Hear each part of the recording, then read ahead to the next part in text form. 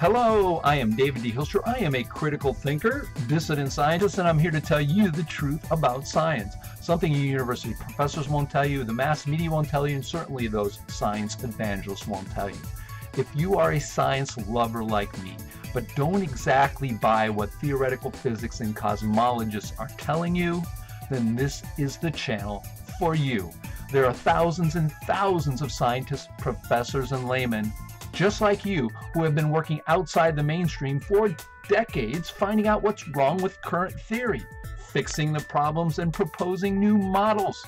These are the Galileos, the Copernicuses, the Newtons of our time. Many of them have PhDs and degrees from the universities such as MIT, Stanford, and other prestigious universities, and some, they're just regular people like you and me. On this channel, you will learn what these critical thinkers think about current theory and what they're finding wrong with it, and what exciting new models are being made today.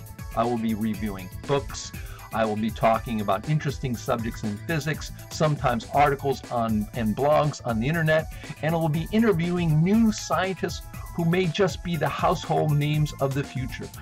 So if you fancy yourself a critical thinker, and I know you do, and would like to get back to real science, this is the channel for you. And remember, don't take my word for it. Watch this channel and make up your own mind. And as I always say, stay critical, stay thinking. I'm David de Hilster, your science therapist. Ciao for now.